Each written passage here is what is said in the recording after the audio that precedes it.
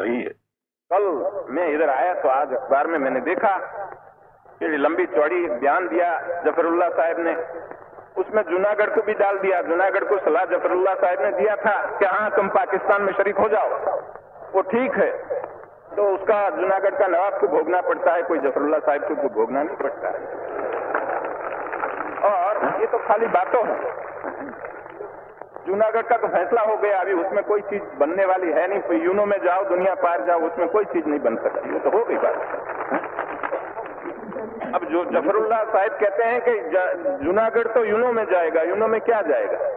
आज कश्मीर में यूनो में गए हैं हमारे तरफ़ से। क्यों गए?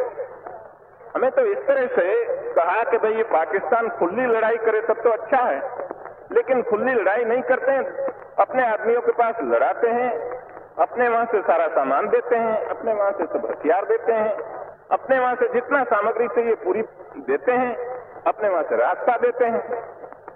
तो उससे तो खुला लड़ाई करे तो अच्छा है। न करे तो हम दोनों उसमें पड़े हैं तो ठीक है। यूनो के पास जाओ।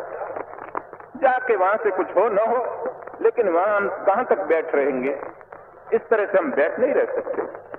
तो कश्मीर का मामला तो अलग है, जूनागढ़ का मामला अलग जूनागढ़ यूनो के पास जा नहीं सकता क्योंकि जूनागढ़ कहते हैं कि आपने भी रास्ता दिया था, हमने किसको रास्ता दिया था? हमने किसी को रास्ता दिया नहीं। वो जो जूनागढ़ के लोग थे, उन लोग अपने रास्ते से जाते थे, वही रास्ते गए, उसने हमने किसी ने रास्ता दिया नहीं। और हमने न कोई कोई चीज़ उसको दिया, कोई न साथ दिया। और जूनागढ़ में एक मक्खी भी मारनी नहीं पड़ी, किसी के ऊपर कोई हथियार चलाना ही नहीं पड़ा, फिर क्या रहा? और खुद, दीवान ने खुद आके कहा कि मेहरबानी करके हमारी हुकूमत ले लो, हम नहीं चला सकते।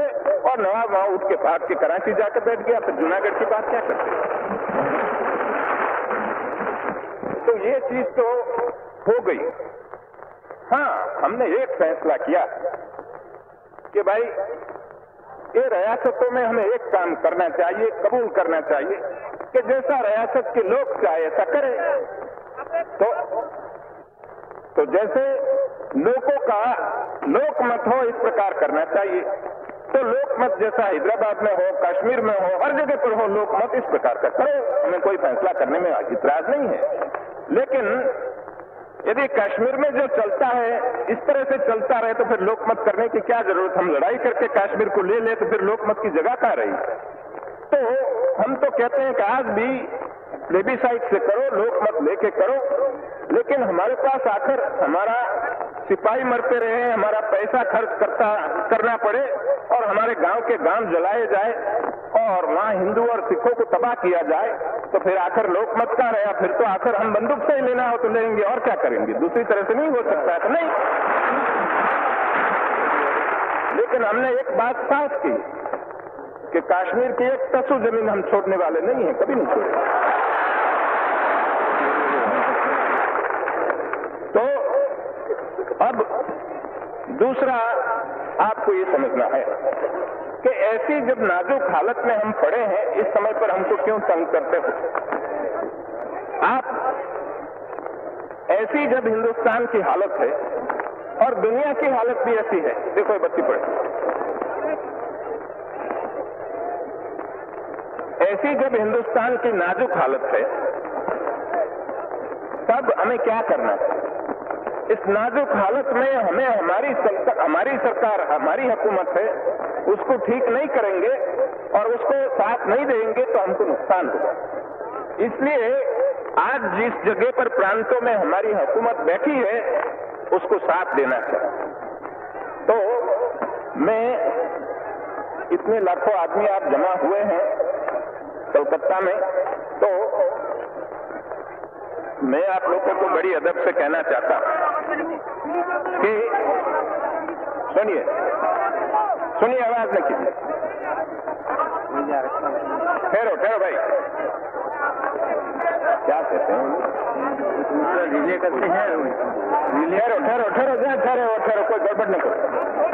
तो आप लोग हिंदुस्तान की ऐसी नाजुक हालत में इतने लाखों आदमी कलकत्ता में जमा हो गए हैं तो आपको एक हमारा मैसेज ले जाना चाहिए और सबको पहुंचाना चाहिए कि आज हमारी बहुत नाजुक हालत है। उस हालत में हमें न कोई हड़ताल करनी चाहिए, न कोई तूफ़ान करने का कोई मौका पैदा करना चाहिए, सबको मिलजुल के काम करना चाहिए। अब कई लोग कहते हैं कि भाई इधर हमारे सिक्युलर स्टेट चाहिए, हिंदुओं का राज कौमी राज नहीं होना चाहिए। कौन कहते हैं कौमी राज बनाओ? हिंदुस्तान में तीन चार करोड़ मुसलमान पड़े हैं कौमी राज की बात नहीं है।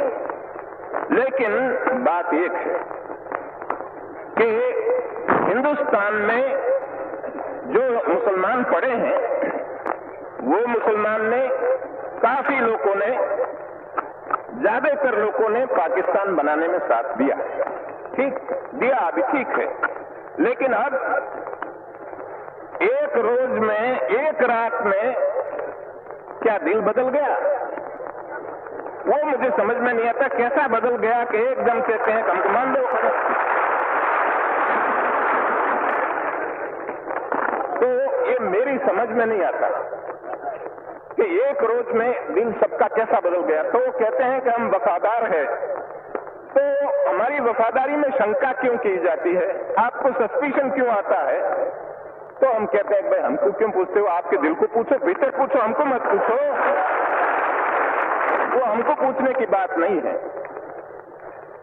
लेकिन हमने एक बात कही कि आपने पाकिस्तान बनाया, आपको मुबारक।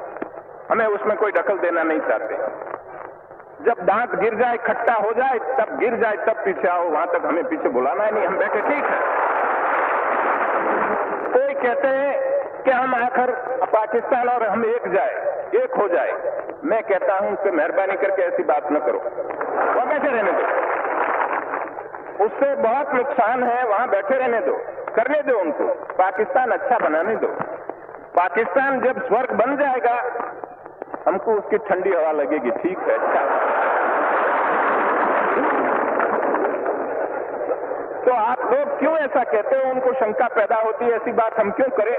मज़बूत बनाओ, तगड़ा बनाओ, पाकिस्तान हमारा पड़ोसी मज़बूत होता है बहुत अच्छी बात है। तो हमको कोई नुकसान नहीं है। वो ठीक है। लेकिन बहुत दफे ऐसा कहा गया कि पाकिस्तान मिटाने के लिए, उसको बर्बाद करने के लिए हमारे दुश्मन लोगों ने कॉन्स्पिरसी की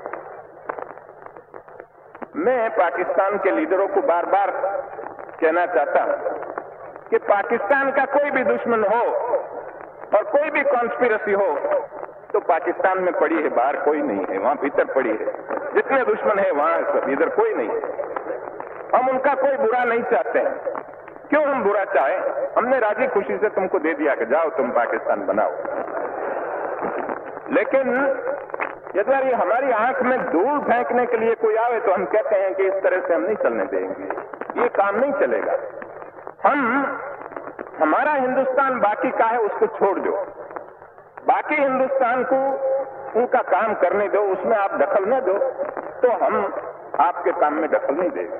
तो आप देख लीजिए, हमने फैसला किया तो जितनी चीज़ थी उस चीज़ में उदारता से हमने उनको जितना इनका हिस्सा था हिस्सा था, उससे ज़्यादा भी देने के लिए हमने कोशिश की। लेकिन जब हमने उनका रुपया देने का किया, उस समय पर हमने कहा कि आपको यदि पौना सौ करोड़ रुपया चाहिए और इतना हिस्सा हमारा चाहिए तो हम देने के लिए आपका हक हो न हो, ज़्यादा हम देने के लिए भी तैयार है। लेकिन मैंने लिख के दिया था कि यदि ये रुपये से गोली चलानी हो कश्मीर में तो हम इस तरह से रुपया नहीं देंगे। हाँ तुम्हारे में ताकत हो, ले जाओ। ठीक है। लेकिन हम खुशी से रुपया तो तब देंगे कि जब ये फैसला सब हो जाए तो आपका रुपया है। हम उसमें कोई दखल नहीं देंगे। हमने आप, आपके साथ मिलके एक फैसला किया तो एक एक कंसेंट डिक्री है ये तो। कोर्ट में जाना न पड़े, लेकिन आपस में बैठ के हमने फैसला कर दिया तो तुम्हारी डिक्री कब बजेगी? जब ये हुक्मनामा तो तब बजेगा कि जब हमारा फैसला हो जाए। तो कश्मीर का फैसला हो जाए, उस रोज पैसा ले जाओ तुम्हारा। इस तरह से हम जब कहते हैं तो कि हमारा पैसा नहीं देते हैं? और वो कुछ अपने जो फैसला किया, उसमें से पलट जाना चाहते हैं। हमें कोई पलटने की हमारी नीयत नहीं है। होती तो हम करते क्यों?